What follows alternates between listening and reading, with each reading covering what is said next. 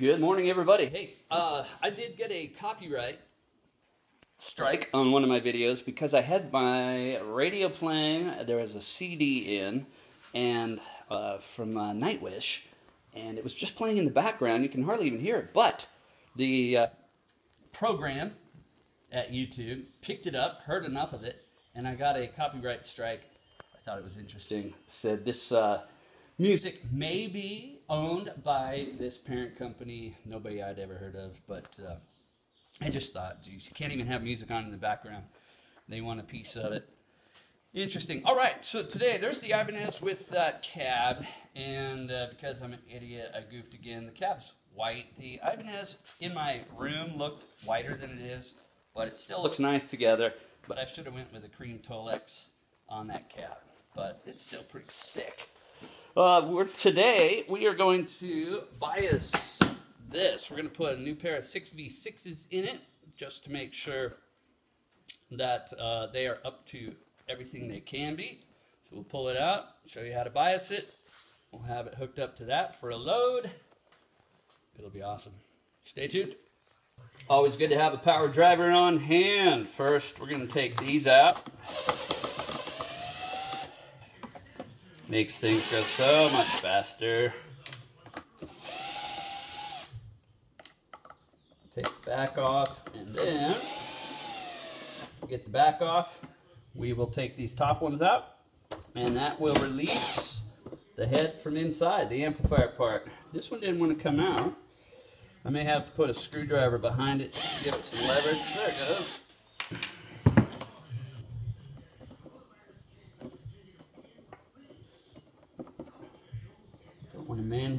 Too much.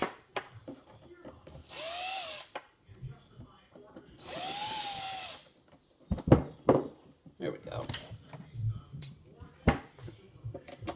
Keep a hand on this so it doesn't fall. You could also hang it, put it on its side, and then it's sitting. But if you're a burly guy like me, you shouldn't have any problem holding it in with your hand while you take these out. Alright, that ought to be it. Make sure you're not tearing something. Find a balance point between the transformers.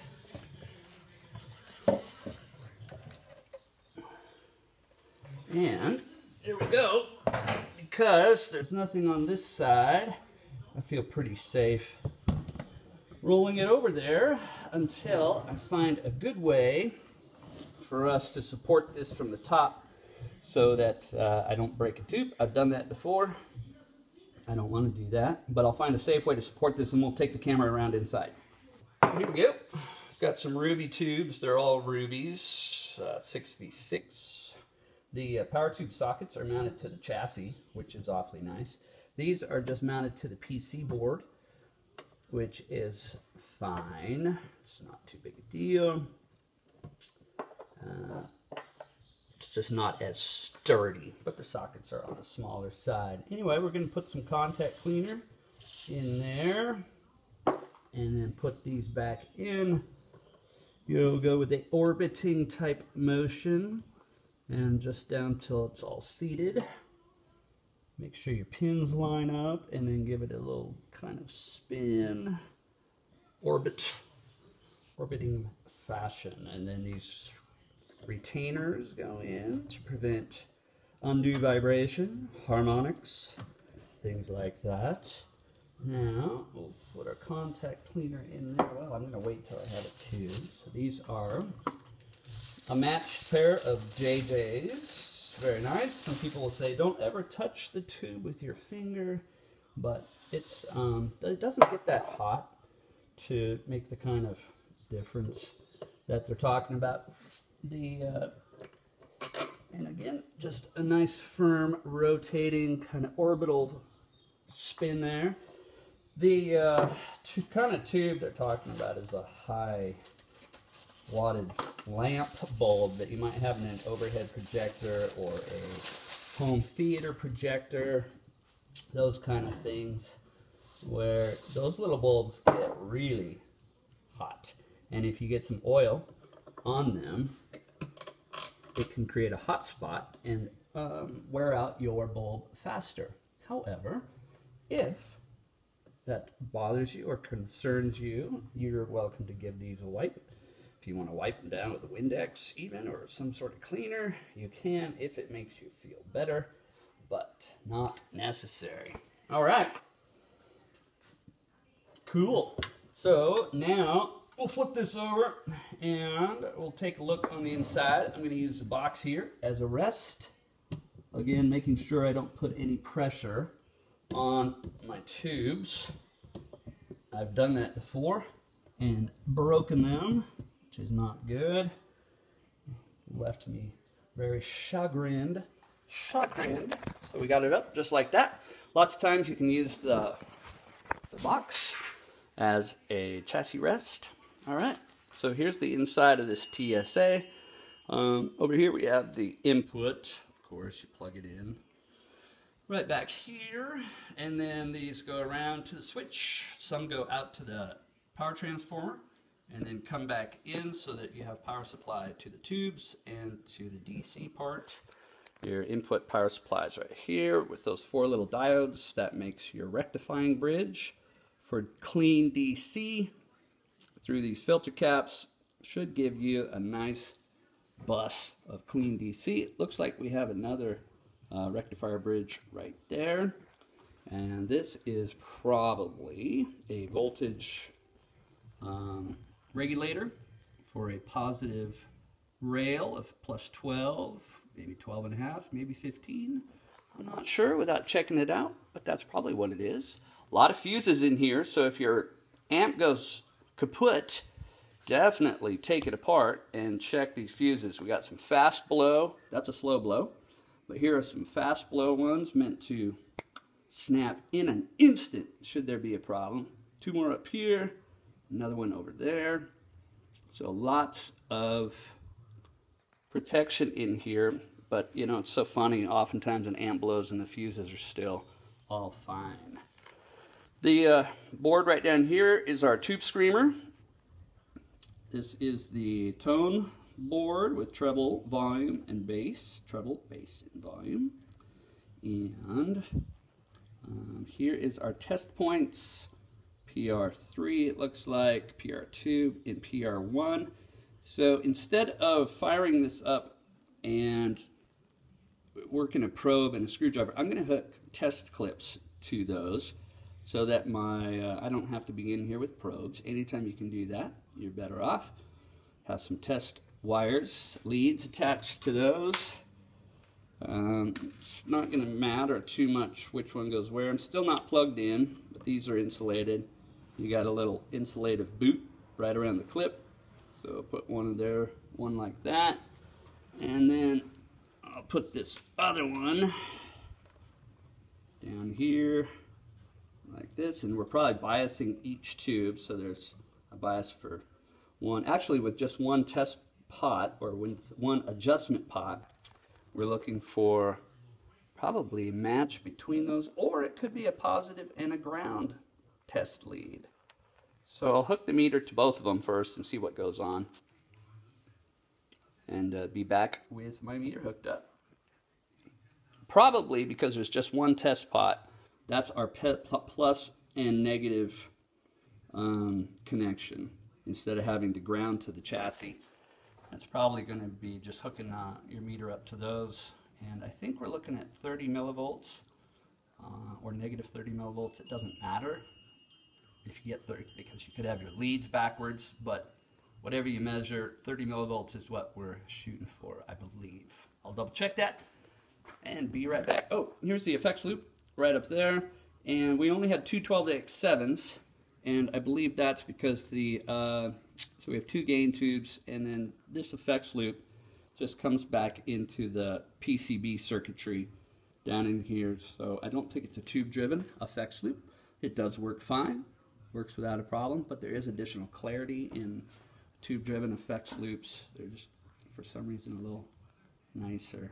All right, be right back. All right, verified that it's negative 30 volts DC. So I got chassis ground right there. Um, you can also ground to that other pin. The test point is PR1. So you could have a clip on PR2. And then make sure you have a speaker hooked up. I'm using this cab right here. Make sure the impedance matches, of course. And then it needs to be in high power mode. Plugged in. You don't have to have a guitar plugged in, but have it in high power mode. And then we'll turn it on. And we put it in standby. And then you wait. And there's our voltage. We're at negative 30.8, negative 30.29, negative 29. Dropping a little bit. And these are a matched pair of tubes. Uh, and I paid the dollar to have them burned in already, so that's a nice thing too. Now this is a kind of a glue mixing stick that I put a point on to get me down into that test pot, not test pot, adjustment pot.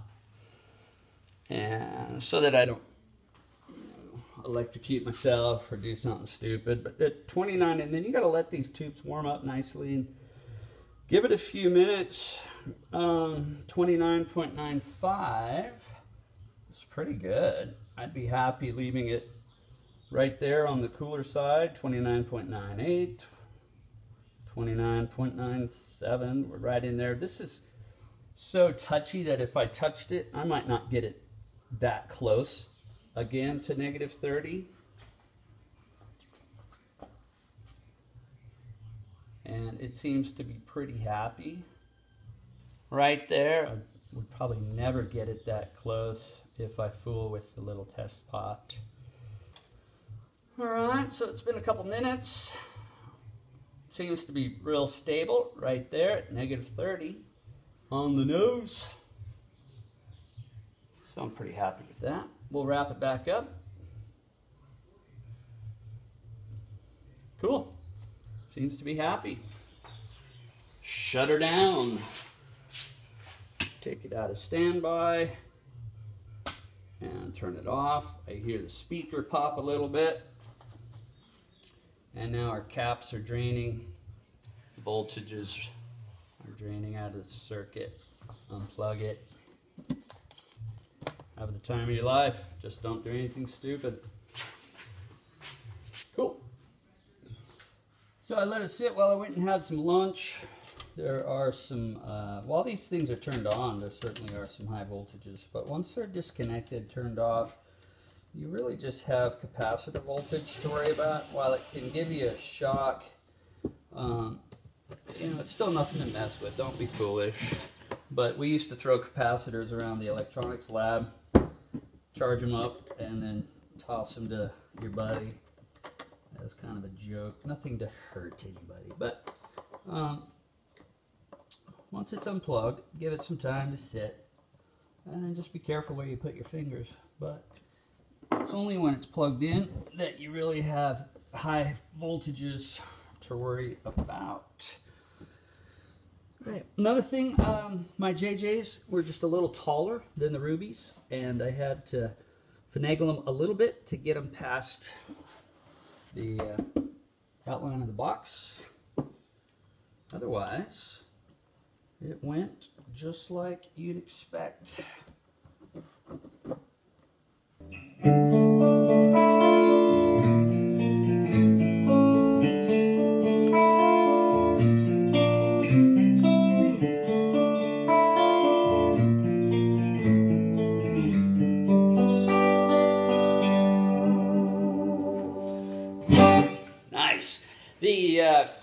Threads, the gear, gear page threads on this little amp, the Ibanez, is uh, can take you down some wild roads.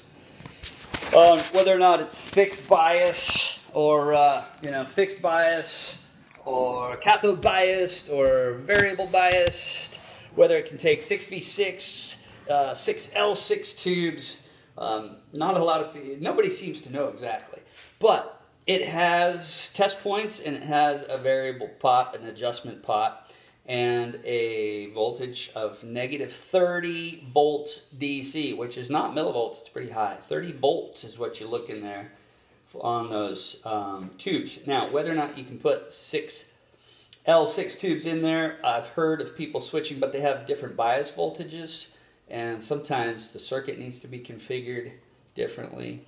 I don't know that much about it, but happy with uh, knowing that those tubes are good I'm going to keep this, and it's a very nice, clean alternative to a Fender amp.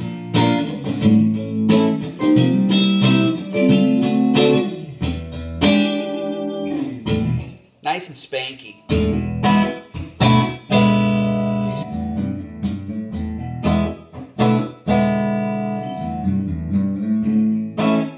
Like it. All right. Happy teching, everybody. Be safe. Don't just have the time of your life. Just don't do anything stupid. Old guy jamming it out. Sub, like, share.